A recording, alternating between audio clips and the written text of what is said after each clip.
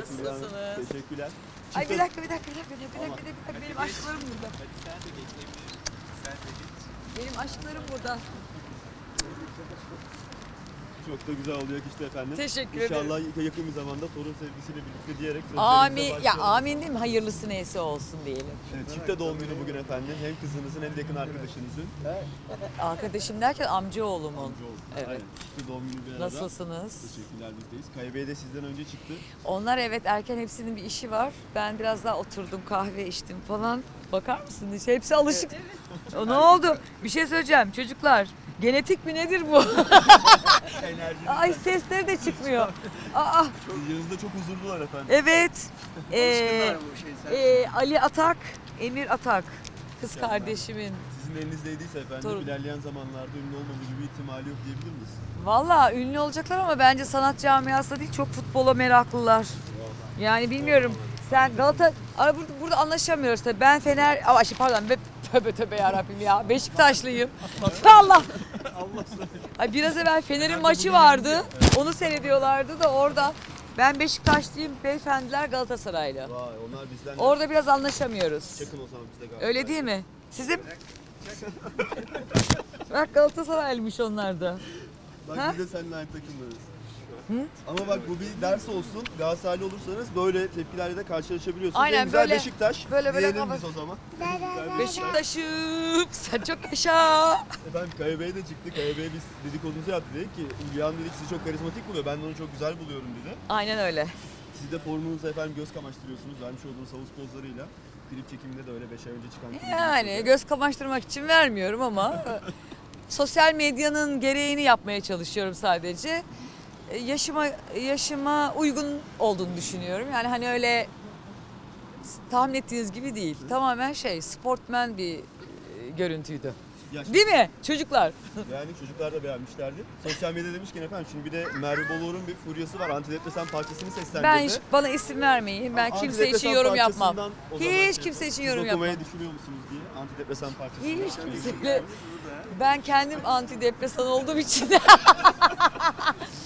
genelde o yüzden gerek duymuyorum yani. Ya spor, spor, hayat erken başlamak, Düzenli beslenme. ee, ha? Düzenli beslenme. ha, düzenli bir hayat, normal bir hayat yani normal. Marjinal olmayan bir ha- hayat her zaman antidepresan yani. Düzgün yaşamak, efendi efendi yaşamak. Ne bileyim gerektiği gibi harcamak, gerekmediği zaman harcamama. Yani her şeyin normalini yapmak. Yani bir, birileri için yaşamamak bunlar antidepresanlık işler zaten. Son dönemde efendim yani yaşanan olaylardan sonra tabii ki de herkesin normal açıklamaları var işte çok normal bulmuyoruz kendimizi diye. Siz her zaman pozitifsiniz ve bunu koruyorsunuz. Bunu nasıl başarıyorsunuz? Onu soralım. Sen yeni misin?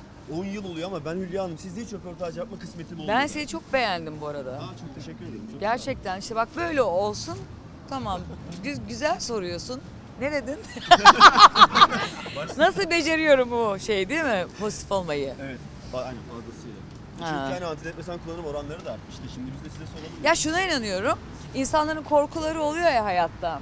Bence o korktukları şeylerden kurtulmayı becerirlerse çok iyi bir şey yaparlar. Çünkü o korktukları şey başlarına geldiği zaman korktukları zamankinden çok daha cesaretli oluyor insanlar. Yani başa gelen her şeyi çekiliyor. O o kaygılar insanları işte antidepresana ihtiyaç hissettiriyor vesaire. Bence onları yapmamalılar. Yani daha doğrusu nasıl söyleyeyim size? Ya beklentilerini azaltmalılar. Daha küçük yaşamalılar. Mutlu olacakları şeyleri daha küçültmeliler falan falan.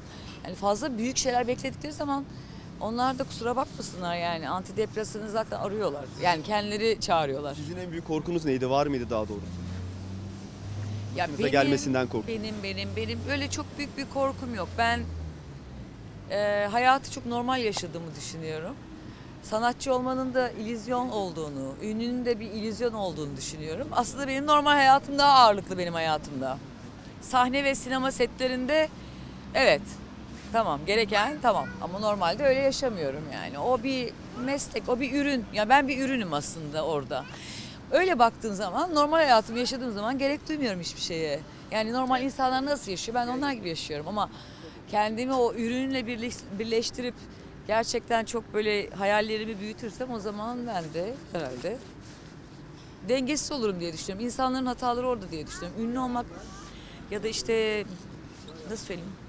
Artık starlık sistemi kalmadı ama star olmak falan bence onlara iş gözüyle bakmak lazım. Son O zaman normal kalıyorsun.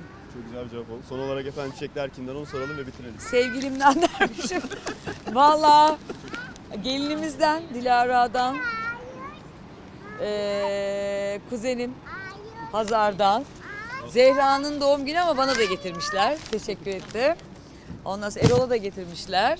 Evet. Yani bir şey söyleyeyim? En güzel şey hayatta eee, her şeye rağmen güzel bir aile sahibi olmak. Onun dışında hiçbir şey önemli değil yani. Hediye olarak da Kaya bir ayakkabı almış. Onu da soralım. Siz ne hediye aldınız Zeyno? Ben hiçbir şey almadım gerçekten. Çünkü zaten normal zamanda yeteri kadar yoluyor sağ olsun. o yüzden de o da kendi de hediye alma istemeye utanıyor artık. Yani helal hoş olsun. Neyse gereği o. Öyle anormal şeyleri de hani uçuk falan şeylerde de değiliz. Zaten öyle bir şey izin vermem ama o yeteri kadar her gün Zaten yani doğum günü değil, özel günler değil de özel olmayan günlerde hediye vermek bizim için daha değerli ailecek. Biz birbirimize öyle şeyler yapıyoruz. Evlat büyütmenin maliyetleri de arttı. Zehra'nın biz de maliyetini soralım o zaman son olarak kapatalım. Neyi, Çok neyi, yol- neyi? Çok yoluyor beni dediniz ya efendim. Evlat büyütmenin maliyetleri de arttı. Zehra'nın maliyetini soralım o zaman. Aylık maliyeti size.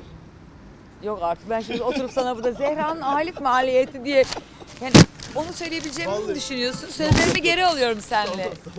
Yani öyle bir şey söyleyeyim. Maliyet bu tamamen yaşam şekline bağlı bir şey yani. Tamamen Çok yaşam. güzel bir Her yaşam şeyi, her şeyi küçük bile yaşadığın zaman en güzel şeye ulaşabiliyorsun. Yani önemli olan haddimizi bileceğiz yani. Neyi ne yapmamız gerektiğini idareli olacağız. Müsrif olmayacağız. Hayat bununla çok bağdaşıyor. Çok teşekkür ederim Hülya Hanım. Yok ya. Ben teşekkür ederim. Bu arada O da güldü. kayıttan, kayıttan sonra bir şey daha söyleyeyim. Söyle.